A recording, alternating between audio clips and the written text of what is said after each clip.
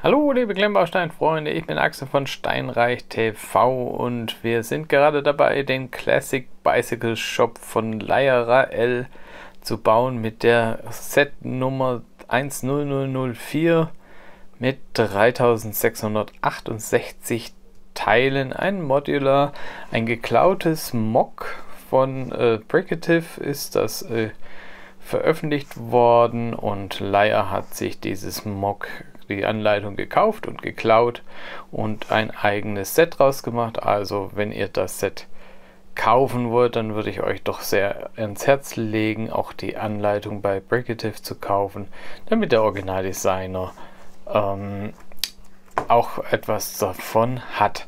Ja, soweit sind wir jetzt hier. Wir haben das erste, das Erdgeschoss haben wir gebaut. Äh, das sind die ersten drei Bauabschnitte von insgesamt sechs. Also wir sind jetzt ungefähr bei der Hälfte. Bei der Anleitung sind wir noch nicht ganz bei der Hälfte. Da sind wir, äh, ja, da sind wir auf Seite 60 von 130. Also ja, fast die Hälfte, das passt schon ungefähr. Also wir haben, wie gesagt, hier drei Bauabschnitte. Wir haben hier links einen Bike Shop da sieht man, das steht hier erstens mal drauf, hier L-Bikes, dann haben wir hier Fahrräder außen dran, hier sind ein paar Fahrradhelme um, ähm, und da hinten haben wir ein paar Reifen, Mäntel, Zubehör, ein bisschen Werkzeug. Da steht nochmal ein Fahrrad in der Auslage, das hier ist die Kasse. Dann haben wir hier noch ein paar Lenker zum Kaufen und hier stehen noch ein paar Fahrräder rum. Genau, so sieht's aus. Das haben wir bisher hier beim Bike Shop. Und dann hier nebendran oder hier hinten haben wir ein bisschen Grünzeug, ein paar vereinzelte Steine, eine Rangpflanze hier hoch und drei äh, Abfallbehälter. Hier hinten haben wir nochmal einen verglasten Eingang. Und da geht es nochmal eine Tür dann in den Aufzug rein, den zeige ich euch gleich. Und da drin, auf der anderen Seite haben wir hier unten vor allem eine Treppe, zwei Stühle, ein bisschen so Warteraumoptik. Und äh, ja, hier haben wir so ein kleines, kleines Tischchen, so ein Rezeptionstischchen oder sowas, weiß ich nicht. Und was das hier sein soll an der Wand, weiß ich auch nicht. Aber so weit sind wir jetzt und dann haben wir hier den Eingangsbereich hier mit zwei Lampen und diesen schönen Riffelstein und dem Bogen drüber. Das finde ich eigentlich sehr schön gemacht. Und dann haben wir hier noch einen Aufzug gebaut. Der hat hier sehr schöne, klare, unverkratzte Glaspaneele oder naja, Transclear-Paneele. Und dann haben wir hier ähm, Zahnrädchen, an denen wir den Aufzug hier ein bisschen hoch und runter fahren können. Das ist ein bisschen schwergängig. Und wenn da oben noch mehr hinkommt, um den Aufzug noch weiter hochzufahren, also zumindest bis hier, könnte ich mir vorstellen, dass es dann irgendwann gar nicht mehr so richtig geht. Das ist unser Aufzug. Der hat hier keine Tür, hat ein paar Aufzugsknöpfe und der wird hier mit einer umfangreichen Zahnradkonstruktion hier hoch und runter gefahren. Aber es, es geht echt schwergängig. Also zum, zum wirklich Bespielen ist es vielleicht dann nichts. Ich meine, normalerweise würde ich sagen, ja, nicht so eng aufstecken, die, die, die Zahnräder und so, dass man ein bisschen Spiel hat. Ähm, aber wirklich viel Platz äh, und das anders zu machen hat man da nicht, weil das ja die Systemsteine die, das, das Ganze ja vorgeben. Also viel Luft zwischen, zwischen den Teilen lassen ist ein bisschen schwierig, dass es ein bisschen leichter gehen würde. Aber auf jeden Fall, es funktioniert in der Theorie. Vielleicht liegt es auch an mir. Vielleicht hätte ich beim Bau doch ein bisschen äh, noch großzügiger sein müssen. Vielleicht wäre es gegangen. Ich weiß es nicht. Aber so sieht es im Moment aus. Und äh, bisher gefällt es mir ganz hervorragend, das Design. Äh, das einzige, hier diese Lenker von den Fahrrädern, die sind fest verdreht, also das ist, die sind immer hier so, so verdreht. Ähm, das bei allen so, weiß nicht, warum man das gemacht hat. Im Originalentwurf mit Lego-Fahrrädern ist das nicht so vorgesehen. Gut, aber ich würde sagen, wir machen jetzt einfach direkt weiter mit Bauabschnitt 4. Und ich melde mich dann, wenn es wieder was Spannendes gibt, spätestens zum Abschluss des Bauabschnitts.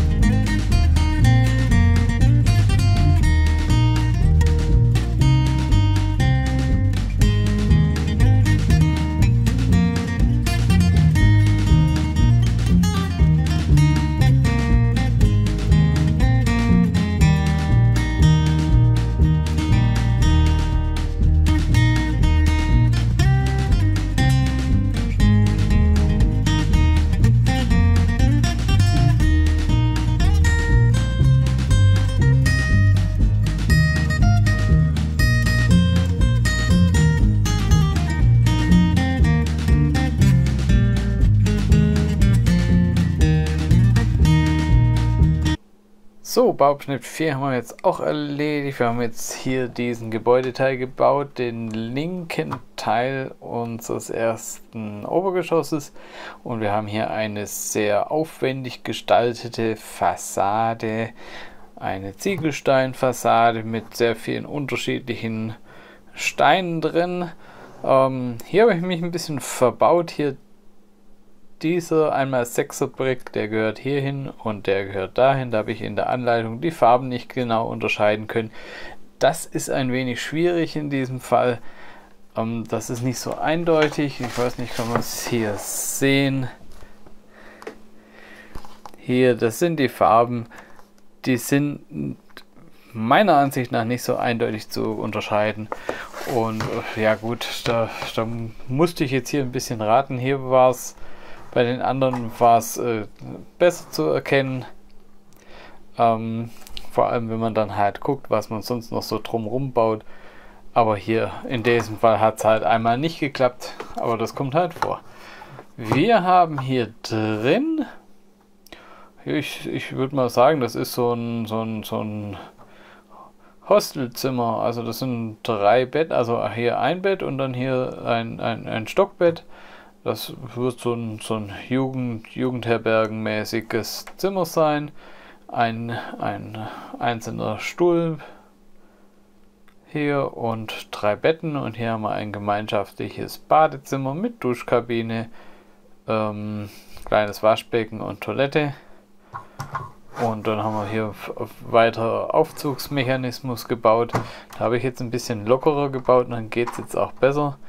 Vielleicht muss ich es unten noch mal ein bisschen auseinandernehmen und, und die etwas lockerer zusammenstecken, aber ich glaube, das, äh, das mache ich jetzt nicht mehr. Wie gesagt, ich werde damit nicht wirklich spielen, deswegen ist es nicht so wichtig, ob die, ob die jetzt wirklich gut laufen, die Zahnräder oder nicht, aber die laufen hier zumindest etwas besser als unten. Ja, viel mehr habe ich noch nicht gebaut. Ähm, jetzt kommt hier auf der anderen Seite, hier geht dann die Treppe hoch von diesem Rezeptionsbereich im Erdgeschoss. Ähm, ja, ich habe hier meinen Finger, jetzt wo ich es gerade sehe, da habe ich, hab ich mir äh, die Kuppe etwas äh, gekürzt mit dem Messer gestern beim Kochen. Deswegen, der sieht jetzt ein bisschen wüst aus, guckt nicht so genau hin. Nun, ich würde sagen, machen wir direkt weiter mit Bauabschnitt 5. Da stellen wir das erste Obergeschoss fertig und Bauabschnitt 6 ist dann das Dach.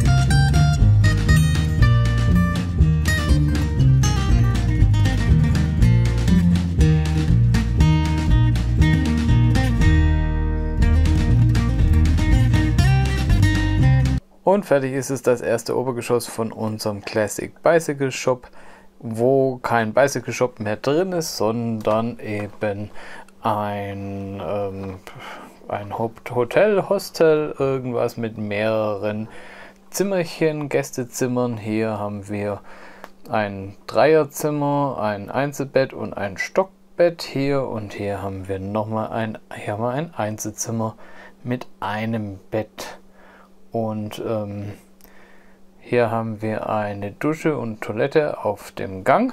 Das ist für alle Zimmer. Und äh, den Aufzug habe ich hier mal hochgefahren. Das ist ganz schön schwierig. Also die Konstruktion, die ist jetzt nicht so äh, super gelungen. Ich habe schon ganz kaputte Hände davon. Aber es ist mir gelungen. Es ist also vom, vom, von der Praxis her es funktioniert so einigermaßen, aber ähm, wirklich äh, spielerisch den betätigen oder so kann man komplett vergessen. Ähm, hier haben wir ein Schild gebaut, ein Ilio oder sowas. Was das sein soll, weiß ich nicht. Äh, so heißt es halt. Und die Rückseite. Hier kommt noch irgendwas. Hier kann man auch den Aufzug bedienen. Vielleicht geht es auf der Seite besser da hinten. Muss man von hinten probieren. Ich habe es bisher nur von vorne probiert. Ähm, ansonsten hier eine große Glaswand.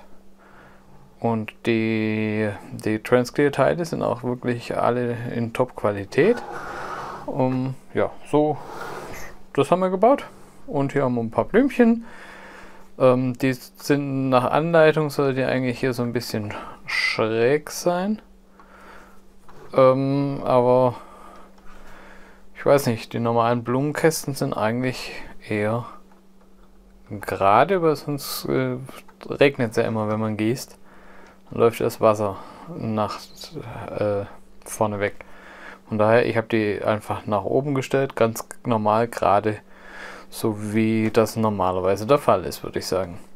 Ja, das Schildchen ist ganz nett und so. Also ich bin bisher sehr zufrieden. Wir haben einige spannende Bautechniken. Hier sieht man zum Beispiel, dass wir hier so eine halbe Noppe breit Abstufung haben. Und das haben wir hier öfters in dem Bau. Und das macht immer äh, das, das ist von den Bautechniken her immer interessant, wie das, äh, wie das erreicht wird und so. Das finde ich eigentlich ganz spannend. Also mir wird es hier nicht langweilig beim Bauen. Das hat man hier überall immer mal wieder. Auch wenn man es nicht so deutlich sieht, wie jetzt da vorne bei dem äh, hier, hier an der Stelle. Aber wir haben immer wieder so, dass wir ganz viele Jumper Blades und sowas einsetzen, dass äh, die so machbar ist, dass der Bau so machbar ist, wie man es sich äh, vorstellt. Hier ist ja auch zum Beispiel hier eine halbe Noppe und da und so. Also da geht einiges und bisher gefällt es mir wirklich, wirklich gut. Auch die Einrichtung hier, ich meine, das ist natürlich sehr simpel hier. Ähm, vor allem, weil ja hier zwei Gästezimmer, aber hier mit dem Stockbett und da das Einzelzimmer und die Treppen gefallen mir gut. Also ich bin wirklich sehr happy mit dem, was ich bisher gebaut habe. Und jetzt bauen wir noch ähm, Stockwerk, nein, jetzt bauen wir noch das Dach. Und dann sind wir auch schon durch.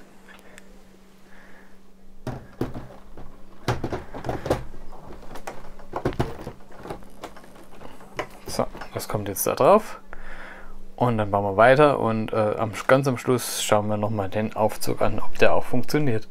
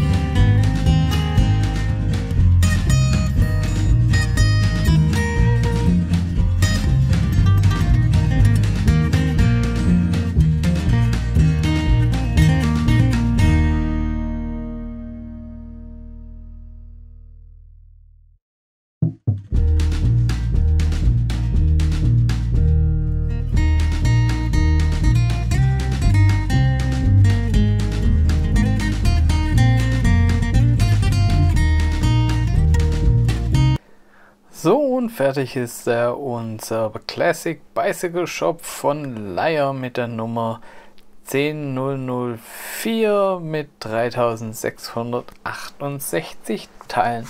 Das war die Anleitung. Jetzt gucken wir ganz schnell auf die Figuren. Die haben wir ja noch nicht gesehen. Ähm, wir haben wieder sechs Figuren, wie auch schon beim äh, Shoe Store. Und wir haben wieder diese sehr mit den breiten Oberkörpern, die hier so eckig rausgehen. Ähm, und die sind wieder alle sehr einfach gehalten. Wir haben jeweils einen Druck auf dem vorderen Oberkörper und sonst aber keinerlei Drucke, weder vorne noch hinten.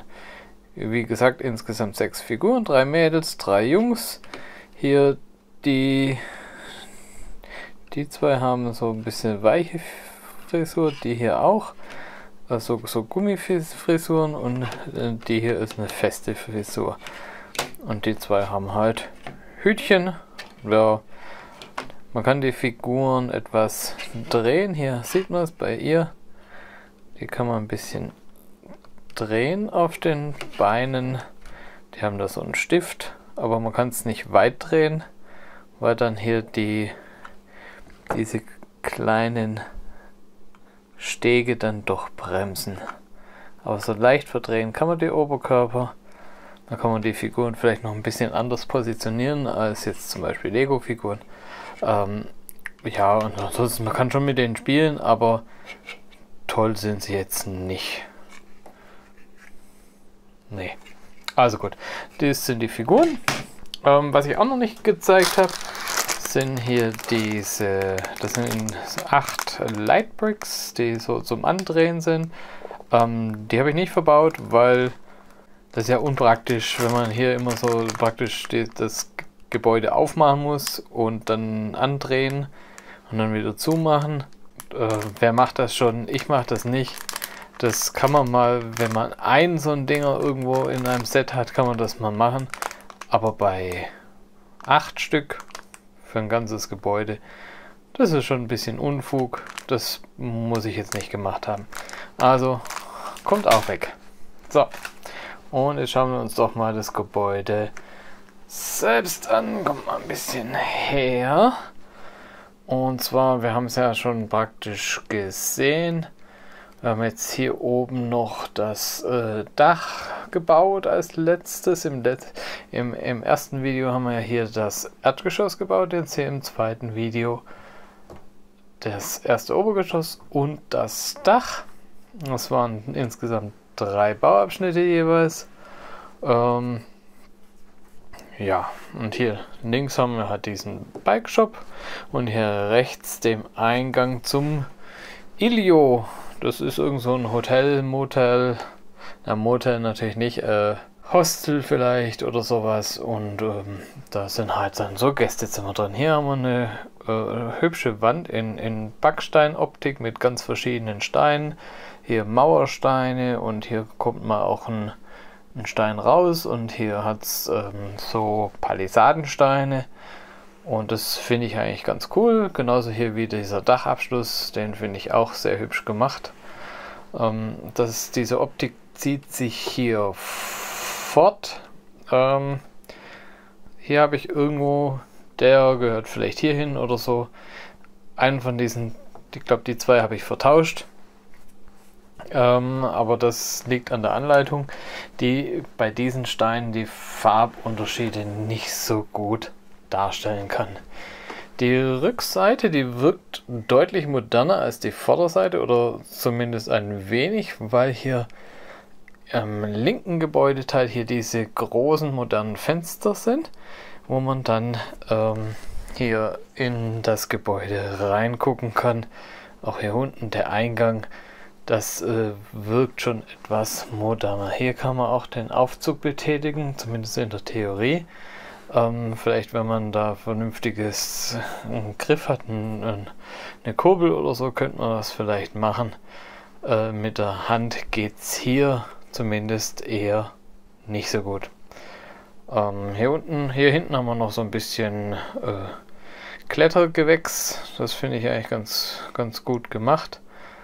Ähm, und hier, ich überlege gerade, das ist doch nicht richtig. Das muss doch irgendwo da hoch.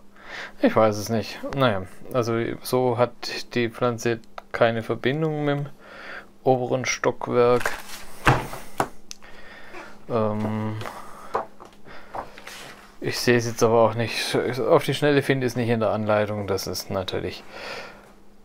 Ich meine, ich habe das jetzt hier falsch rum. Ich habe es äh, vorhin mal abgerobbt und ich meine, das müsste irgendwie da in Verbindung stehen.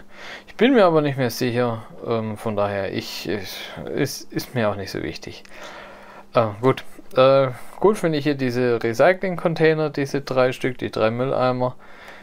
Die passen eigentlich so gut in den Hinterhof und äh, das gefällt mir gut. Gut, ähm, bevor wir die Stockwerke mal abnehmen, würde ich hier noch auf einen Macken hinweisen und zwar den, das obere Stockwerk kann man nicht komplett aufsetzen, wie man hier sieht. Hier ist eine Spalte die sich hier durchzieht und das liegt hier an dieser Regenrinne. Die wird hier in diese in diesen Pin in dieses Pinende von dieser Stange hier gesteckt.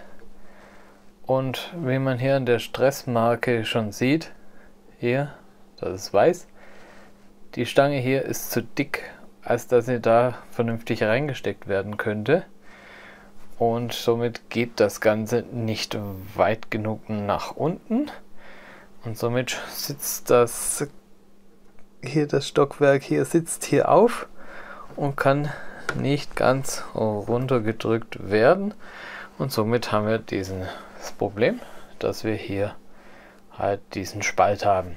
Jetzt könnte man hier im Prinzip die Stange oben ein kleines bisschen abfallen ein, zwei Millimeter sollten reichen und dann äh, funktioniert es auch. Aber in der Form, zumindest ist es mir nicht gelungen, in der aktuellen Form das vernünftig zu schließen. So, jetzt ähm, würde ich sagen, wir nehmen einfach mal das Gebäude hier ab, äh, das Stockwerk ab und gucken uns das mal eins nach dem anderen an.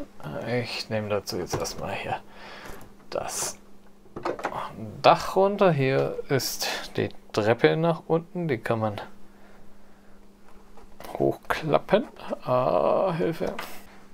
Die klappt sich jetzt nach oben, wenn ich es hinlege, aber das ist ja auch kein Problem. So, hier haben wir ein Dachfenster, das kann man so aufklappen. Dann kann man hier reingucken. Ähm, ja, da sieht man halt das äh, Treppenhaus, wo jetzt die äh, Treppe nach unten etwas unmotiviert rumliegt. Die klappen wir nachher wieder nach unten. Was mir auch jetzt auffällt, ist gerade hier, das hat irgendwie eine starke, ist stark verzerrt. Das ist vielleicht auch noch ein Grund, warum das äh, nicht richtig oben aufliegt. Fällt mir da so auf, aber so ist es. Ähm, jo, jetzt schauen wir uns mal die Zimmer an. Hier können wir direkt reingucken durch das Fenster. Das ist hier so ein Gästezimmer. Da liegt ein, da ist ein Bett und ein Tisch, ein Stuhl, eine Lampe, eine Pflanze und das war's. Hier können wir aufklappen und ins Treppenhaus reingucken wieder. Wieder die Treppe, die wieder dann nach unten geklappt werden kann. Und auch auf dieser Seite kann man aufklappen nicht zu weit, dass wir die Antenne nicht zerstören. Und hier ist nochmal ein Zimmer dieses Hotels. Ich nenne es mal Hotel. Und hier haben wir ein, ein größeres Bett. Das ist, scheint mir ein Doppelbett zu sein. Und auch hier da hinten ein Tisch mit Stuhl. Und das sieht mir fast wie ein angedeutetes äh, Schrank äh, beziehungsweise das sind äh, Schubladen da hinten drin. Das haben die anderen Zimmer auch nicht. Und hier so ein Tischchen. Und natürlich auch wieder alles gefliest, auch schön gemacht. Das ist mir so wie die Suite vom Hotel. Ähm, aber ein eigenes Bad haben sie auch nicht. Hier das Bad ist auch ein, ein äh, Stock, Bad vom Stockwerk. Ähm, hier hat es eine Toilette, Klobürste würde ich sagen oder irgend sowas. Ähm, ein kleines Waschbecken und das war's. Ja, das war schon das Dachgeschoss. Und dann können wir gleich hier in unseres zuerst das Obergeschoss reingucken. Ähm, hier haben wir außen Blumen angebracht. Die gehören eigentlich laut Bauanleitung hier so schräg hin. So. Ähm, ich wüsste nicht, warum man das tun sollte. Wenn man die gießt, dann läuft das Wasser runter. Ähm, also normal sind so Blumenkästen. Also zumindest in meiner Welt sind die eigentlich meistens relativ gerade. Vielleicht hängen mal ein bisschen Blumen nach vorne und so leicht schräg, aber so, so im 45 Grad Winkel wie in der Anleitung sind die eigentlich nicht. Deswegen ich mache sie gerade. So sieht es auch gut aus. Ähm, das macht ja nichts. Hier haben wir den Aufzugsschacht hinter diesen Glaspaneelen oder ja, Glas äh, Transclear Paneele die sind alle von hervorragender Qualität, wie alle anderen Transclear-Teile auch. Ähm, ich habe keine Kratzer gesehen, nichts ist milchig. Äh, höchstens, also die Bricks sind nicht ganz so perfekt, aber die, die, die Paneele und die Scheiben, da habe ich wirklich gar nichts zu meckern. Also da sind nahezu keine Kratzer drauf, wenn minimalste Mikrokratzer oder so. Also da, da habe ich echt wirklich nichts zu meckern. So, also hier haben wir das Treppenhaus, das äh, hier zu dieser, hier kommt dann diese klappbare Treppe herunter ins Dachgeschoss.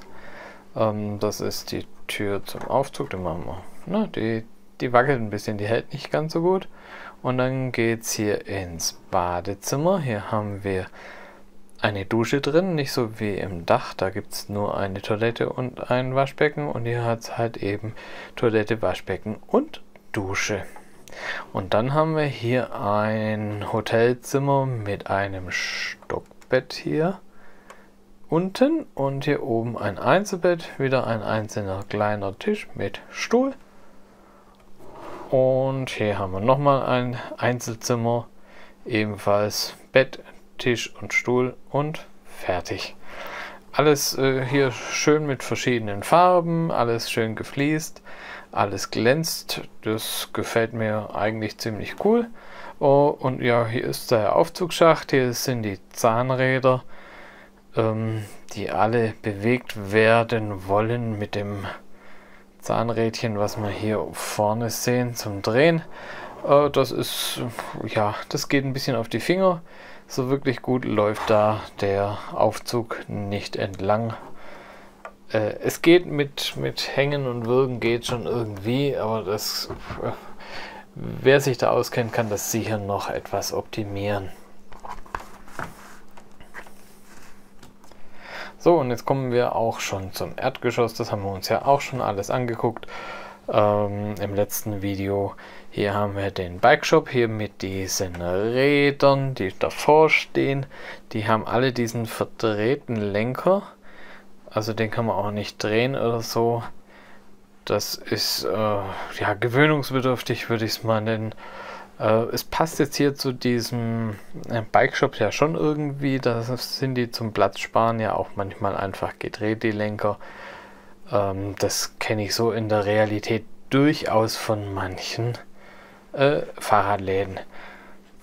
Und hier rechts haben wir den Eingang. Hier finde ich ja auch schön diese, diese Rippelsteine hier äh, dran. Und wir haben hier auch, auch in anderen Stockwerken hier diesen halbe Noppe Versatz.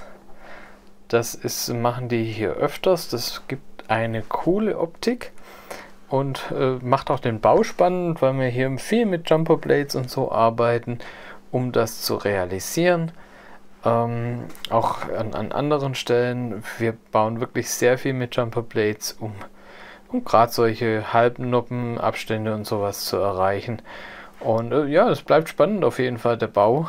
Ähm, Das ist eigentlich ganz cool. Und hier der Eingangsbereich, der ist auch echt schön gemacht. Und da hinten ist praktisch hier die Rezeption. Ähm, hier die Rezeption. Das ist so ein ganz schmaler Tisch mit einem Stühlchen dahinter. Und dann, oh, dann passiert hier eigentlich auch nicht mehr viel. Hier gibt es noch irgendwie einen Wartebereich. Da hinten gibt es noch den, die Tür zum äh, zum Hinterhof und die Treppen nach oben. Und das war auch schon der Bereich hier rechts.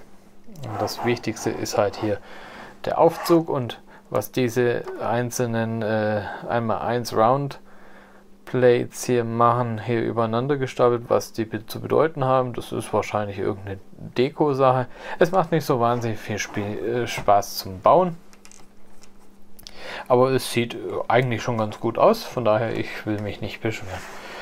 Ja, dann kommen wir hier zum äh, namensgebenden Teil des ganzen Gebäudes. Wir haben den Bike Shop. Hier haben wir den Kassenbereich, das ist die Kasse. Hier im Schaufenster steht nochmal ein Fahrrad. Dann haben wir hier ähm, Aufzugszahnräder. Äh, äh, hier äh, ein bisschen Werkzeug und hier haben wir Fahrradzubehör, Mäntel. Äh, hier auf diese runden Fliesen kommen äh, Aufkleber von Speichen drauf, also im Prinzip Räder äh, und, und andere Sachen und, und Lenker und so Zeug. Also das ist eigentlich hier so ganz cool. Hier ist das Zubehör. Hier haben wir ein Fahrrad auch nochmal ausgestellt.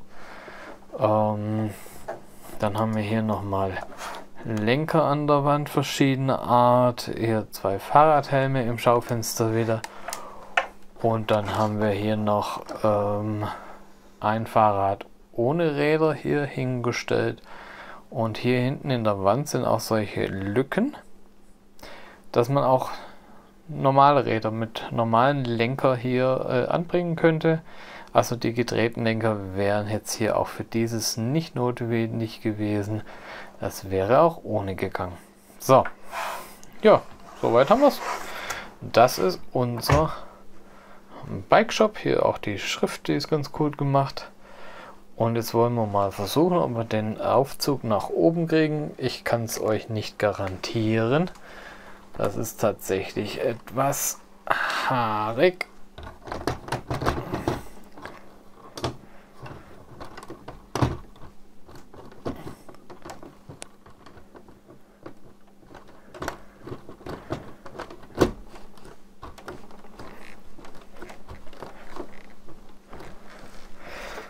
So, jetzt habe ich es mal zumindest so weit zusammengesetzt und jetzt versuche ich mal, ob ich den Aufzug nach oben kriege. Also hier. Wow. So, so gut ging es die ganze Zeit nicht. Also es geht. Und wir kriegen hier sogar bis maximal da oben raus. Das ist tatsächlich jetzt das erste Mal, dass der so relativ sauber hier hier durchläuft.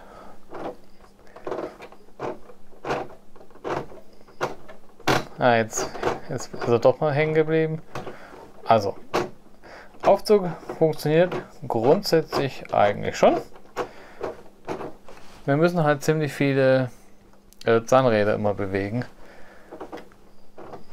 Das sind sicher Insgesamt würde ich sagen, sind wir fast an 20 Zahnräder dran, die wir hier bewegen müssen, die ineinander greifen.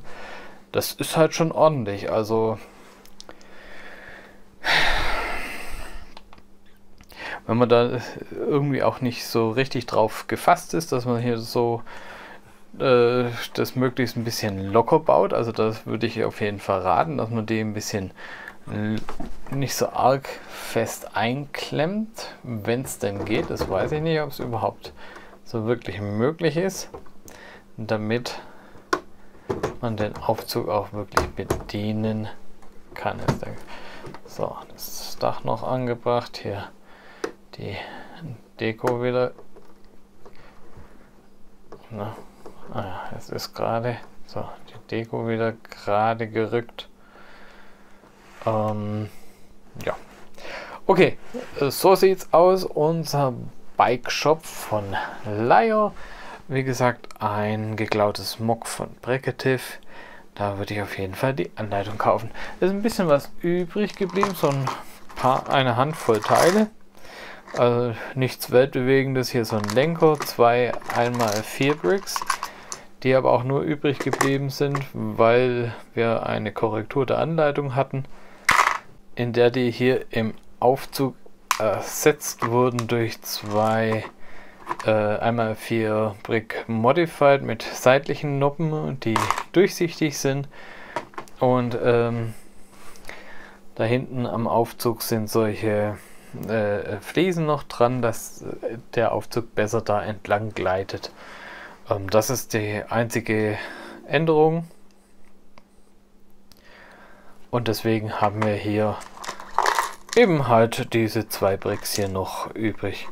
Ansonsten ist es ja wirklich nur Kleinstzeug. Also dieses Set eignet sich nicht, um den äh, Steine-Ersatzvorrat in der Sammlung zu erweitern. Also zumindest die Ersatzteile, die übrig sind, die sind nur ein Tropfen auf dem heißen Stein. Was mir noch auffällt hier bei dem Gesamtbild, was fehlt denn euch im Vergleich zu anderen Modulars hier? Was fehlt? 3, 2, 1. Genau, die Laterne fehlt. Eigentlich stehen von sonst vor jedem Modular ein bis zwei Laternen.